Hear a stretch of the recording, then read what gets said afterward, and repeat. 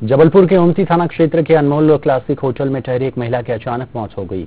बताया जा रहा है ये महिला अपने पति के साथ इंदौर से आई थी। सूचना के बाद ओमती थाना पुलिस ने मर्ग कायम करते हुए जाँच शुरू की है। पीएम रिपोर्ट आने के बाद ही मौत के कारणों का खुलासा हो पाएगा। ओमती थाना अंतर्गत एक होटल है होटल अनमोल क्लासिक। वहाँ पर विगत दो दिन से आ, प्रदेश बीजेपी कार्यालय का रुख कर लेते हैं। सीएम शिवराज सिंह चौहान यहाँ पर इस वक्त मौजूद है। तस्वीर आपको दिखा